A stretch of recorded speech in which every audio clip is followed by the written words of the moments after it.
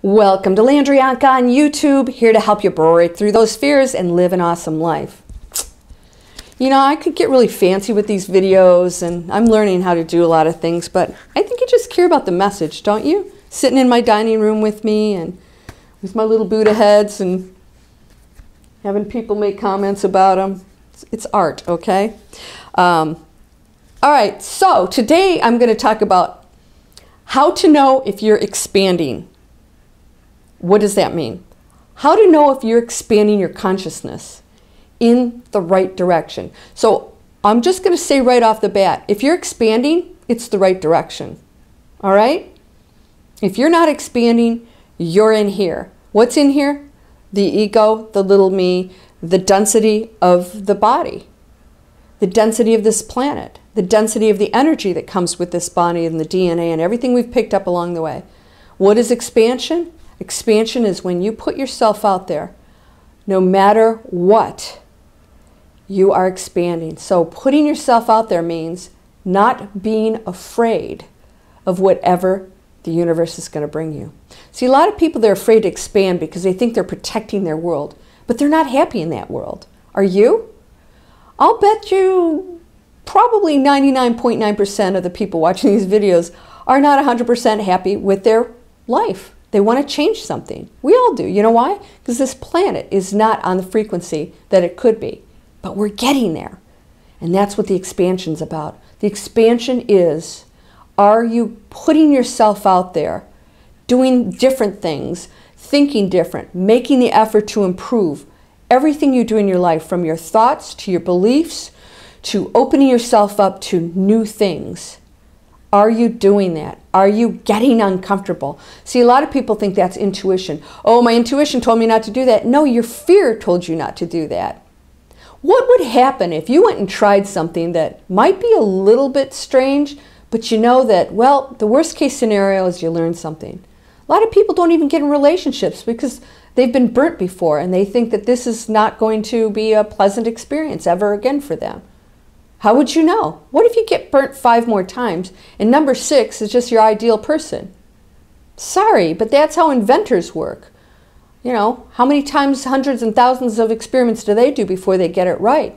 They never stop because they know that probability exists. And when you're expanding, you're okay with the challenges along the way to secure that probability. What are the challenges along the way? The changes you need to make to manifest that thing you want. So along the way, the universe is saying, okay, we're going to get give you this. Of course, you want this because that's the message you're sending. So it's mimicking exactly what you're thinking. But if you have other blocks or things going on, it's going to take you on a path to clear those up to give you that thing. So it's it hasn't made a mistake. Oh, why isn't it coming? Because you're getting the lessons you need to learn to get to that total manifestation. Makes sense, doesn't it? Oh, okay, so I want this thing and it looks like I'm not getting it, when in actuality, I feel very secure about the thing. Why is it not showing up? Because the things that are happening along the way that appear to be blocking it are really unblocking it. Don't be afraid of those. But people, they stay in here. I'll stay in that job and that relationship and that whatever it is don't leave the city. I hate, I, you know, I hate shoveling snow, but I, I moved from Michigan down to Atlanta. I never liked the snow. I've never liked the snow. Snow is something I want to see on, you know, Chamonix in France. Yeah, it's not something that I desire. I never felt good about it, but so many people stay in their environment because it's what they know. They're secure. They have friends there. They have family there, and they won't move. Guess what? I have people that visit me here in Atlanta because it's in the 70s right now and they're shoveling snow up in Michigan. So, can you look at everything as an advantage and that you have to stop worrying about other people's thoughts and judgment or beliefs to expand? Because they're going to confine you based on what they're doing in their lives, and it's probably not expansion. They're usually in a dense place. I guarantee you that. Because if somebody's trying to restrict you, it's because they themselves are not doing what they want to. That's just how it works.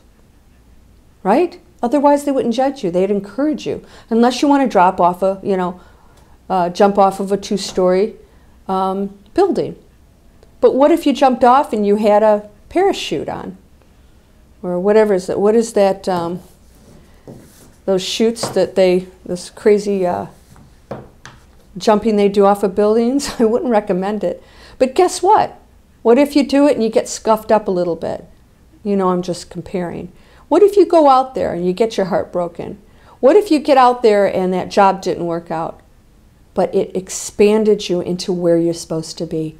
That is key, and we miss that. We think there's supposed to be this open, clear path, and nothing's going to happen along the way, and we're not understanding that things along the way are unblocking you from that final destination, which is never final.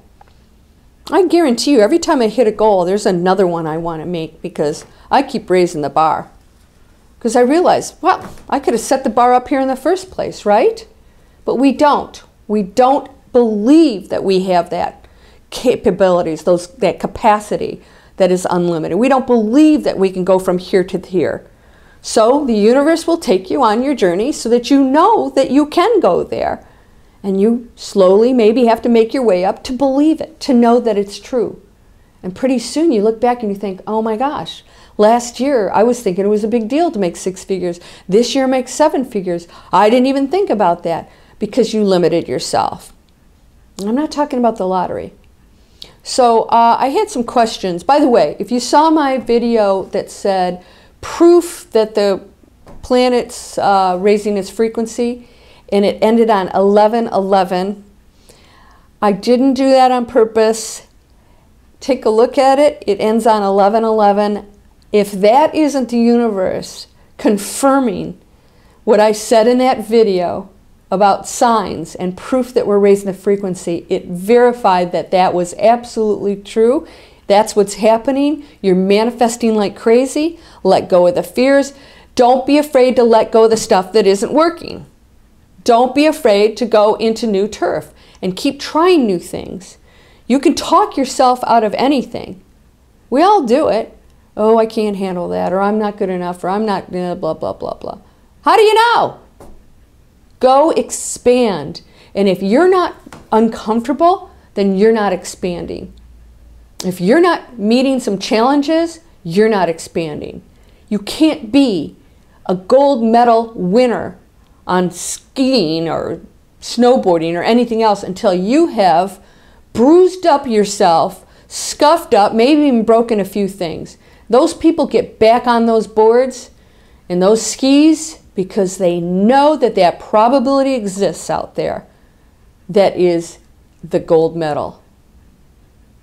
Otherwise, we wouldn't have the Olympics. People would quit as soon as they fell down or they weren't fast enough or broke a rib. Don't let that be you. They use that as a journey, part of their growth, part of their triumph.